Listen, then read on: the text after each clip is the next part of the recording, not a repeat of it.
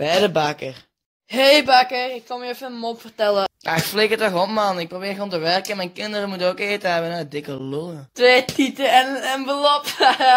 Ken je die SOA waarbij je plasbuis ontsteekt en je bloedpist? Ik hoop dat je daarin steekt. Gewoon minder. Weet ik veel dat ik geen pit aan in mijn plasbuis moet steken.